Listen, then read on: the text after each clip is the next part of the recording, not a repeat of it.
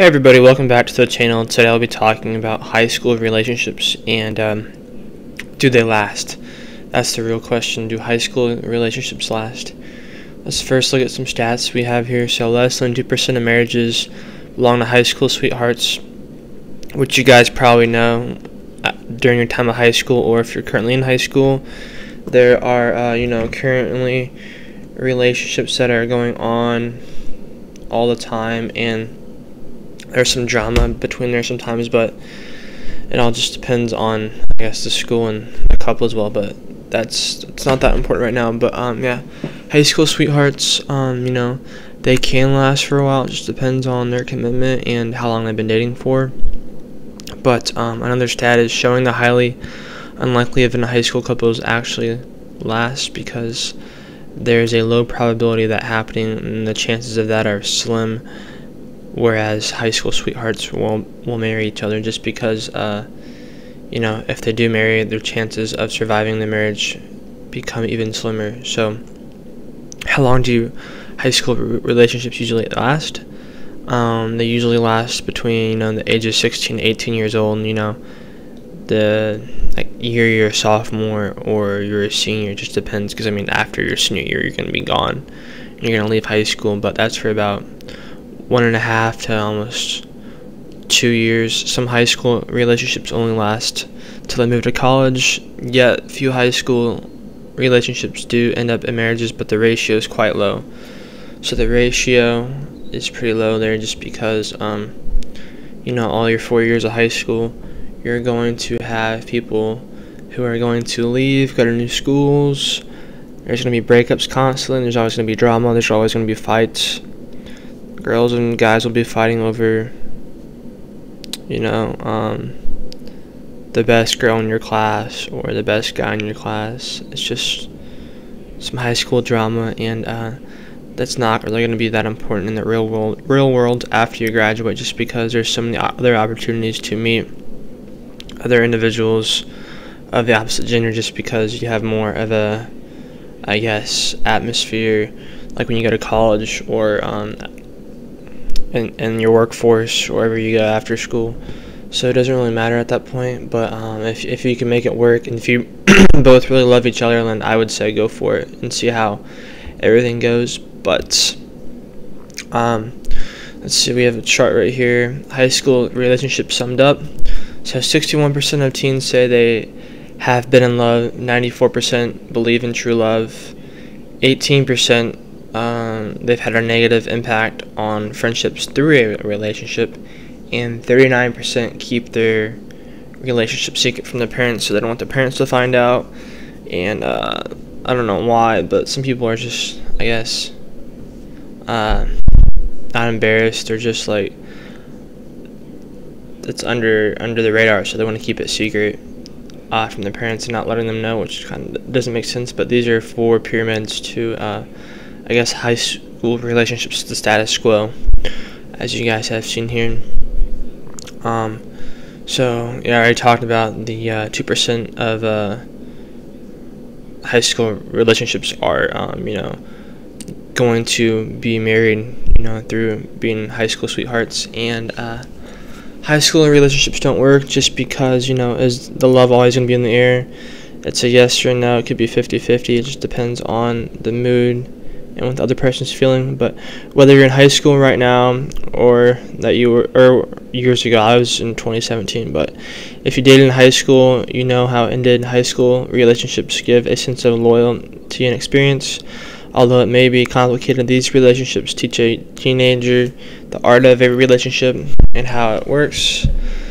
Um, the beginning, you know, there's the talking stage, and after that, um, you go on a few dates, you get to know the person really well, and then the talking stage goes on for quite a while, you know, and um, it can it can be confusing at times just because people aren't really clear about their intentions between uh, between the couple, and um, if the relationship becomes official, it'll become very important to them whether the couple is public or private.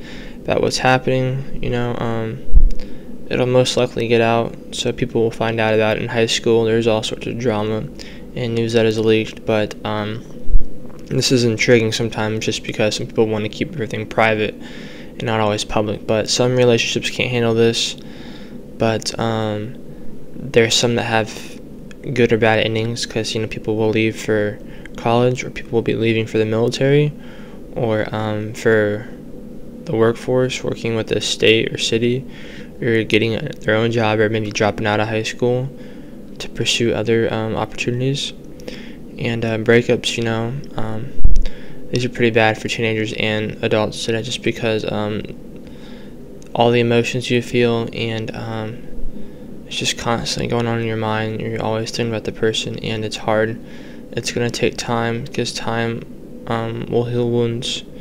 Um, you know, give or take a year or so, just as long as you um, have a setback. And um, setbacks, man, um, they're very, um, they're very um, different. Just because high school relationships are a blessing in disguise, but um, it helps you give give each other memories that will last forever.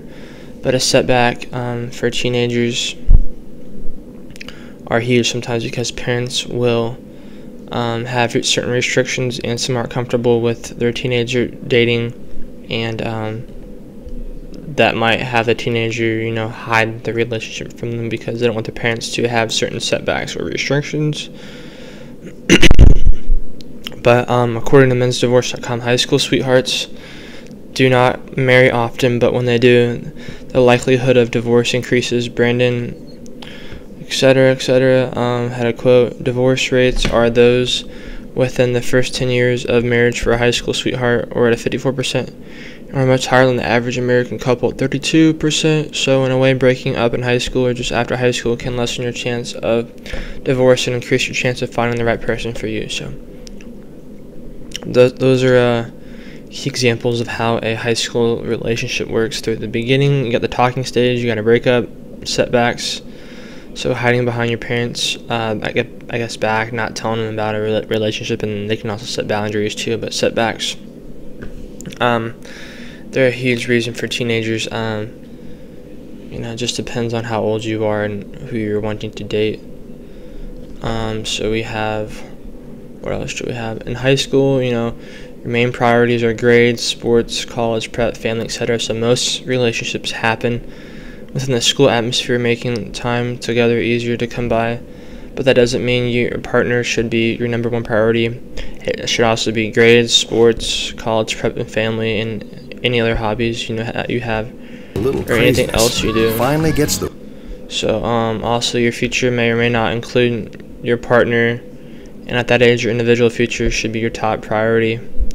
Uh, meaning, all your other setbacks such as grades, sports, college, prep, and family, and your other hobbies. Those should be your main priority um, in your relationship as well, because that will help bury it, help build up um, the uh, foundations for your relationship. It'll help you be more independent, but um, also.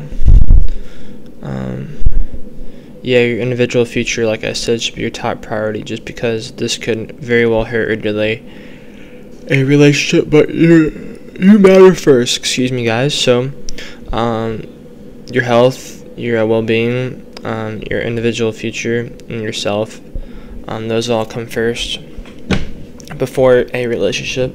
So, make sure you have everything together before you jump into a relationship, especially in high school and later on in life as well. But um, adulthood as well. Like I said, um, half of um, divorce rates are um, through high school, I guess, sweethearts, but um, you want to make sure you, um, are dating somebody you're going to want to spend time with together for the rest of your life and not have any setbacks about it. But we're finished there, so. Yeah, I already I already talked about this, but high school relationships don't work just because of you know the beginning. There's the talking stage, which it can be confusing at times. It just depends on how it's, I guess, um, prioritized between you and the other person. and breakups happen and setbacks. But yeah, high school relationships, um, you know, they can either be good or bad. Just depends on um, who you're dating. Can be a toxic relationship where um, it's all mainly focused on one person and you're not giving back the same amount of energy towards the other, which isn't fair to the other person because it's not even a relationship. That's just using somebody for your own personal gain, which is no sign of love right there. So that's not fair at all to the other person. And like I said, yeah, less than 2% of marriages belong to high school sweethearts. So, um, that's a low percentage right there.